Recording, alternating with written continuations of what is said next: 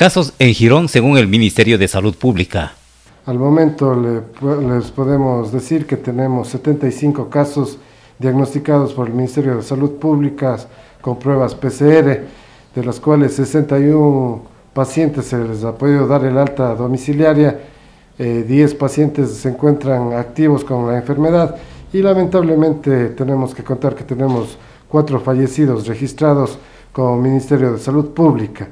Comunicarles que tenemos 20 pacientes en el cerco epidemiológico. Diferencias en los datos entre el COE y el Ministerio de Salud Pública. Eh, bueno, como siempre les he dicho que el Ministerio de Salud Pública maneja los datos eh, que son los reales, aunque a veces, como dice usted, han, habido desfases desde el nivel nacional, pero nosotros con nuestro epidemiólogo del distrito manejamos los casos eh, exhaustivamente para que vaya, para poder ir alimentando día a día la matriz que tenemos y así dar a la población una información veraz eh, de los casos que se van teniendo y que a diario van aumentando, pero como digo, también a diario van aumentando los casos de personas recuperadas también.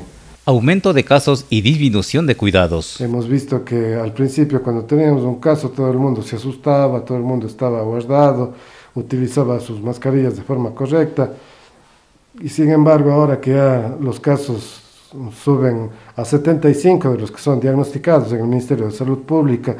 Tenemos que llamar también a toda la población para que tomamos las medidas correctivas, ya que la pandemia no se ha terminado, la pandemia sigue activa.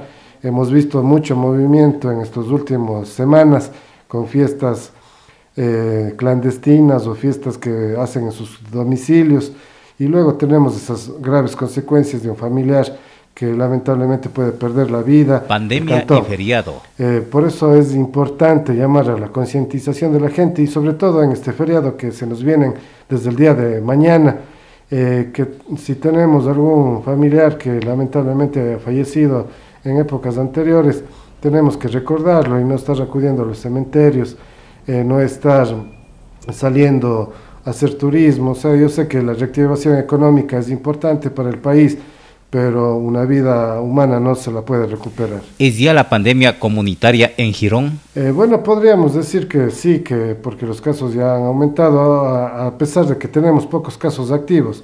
Aquí tenemos en Girón 10 casos activos, en Santa Isabel tenemos 31 casos activos, entonces no son muchos los casos realmente.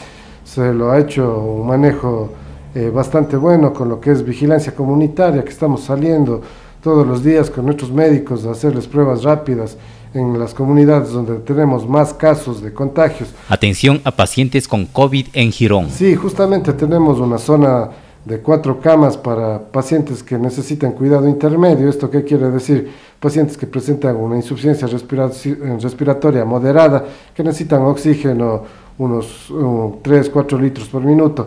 Pero si esta misma paciente se empieza a descompensar, enseguida tenemos que transferirle a los hospitales que están manejando COVID, como es el Hospital Regional, el Hospital de Azogues y los pacientes afiliados al Hospital de IES. Recuperados de COVID en el Hospital de Girón. Exactamente, hay personas que por, por su no tan grave estado de salud se les ha podido sacar eh, simplemente con dos o tres días de oxígeno, luego sus pulmones se van recuperando y se van con alta domiciliaria a cumplir su aislamiento en su domicilio. Posible aumento de pacientes luego del feriado. Bueno, nosotros siempre hemos estado preparados. Eh, ahora también en el mes de noviembre y diciembre se espera que haya una alta de, de pacientes que estén positivos. Eh, como ustedes han visto, manejamos una estadística de aproximadamente el 80-90% de pacientes se recuperan en su casa, sin ningún, incluso sin ningún tratamiento, a lo mejor un paracetamol.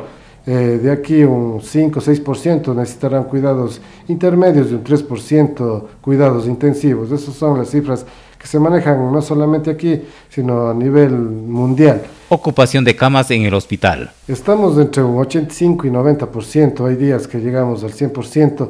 Eh, pero sin embargo tratamos de tenerles el menos tiempo hospitalizados a los pacientes y darles el alta eh, lo más pronto posible para su recuperación en su domicilio. Acción de autoridades y comportamiento social. Lamentablemente creo que todavía nuestra cultura, nuestra sociedad eh, nos gusta solamente siempre juzgar y no ver lo bueno de las cosas. Pienso que tenemos que como ciudadanos ponernos la mano en el pecho y simplemente estar ahora en estos tiempos de pandemia en nuestra casa con nuestra familia, es hora de reflexionar y no es hora de salir a fiestas, eh, incluso eh, las fiestas religiosas que realmente aquí por la devoción que tienen eh, creo que ha incrementado los casos, pero todo, toda la fe creo que se, Dios está en todas partes, incluso y eso le podemos llamar a la gente a que reflexione y que no nos juzguen y más bien nos ayuden a controlar, porque esto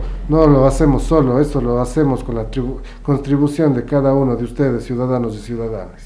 Gracias, doctor. Muchísimas gracias.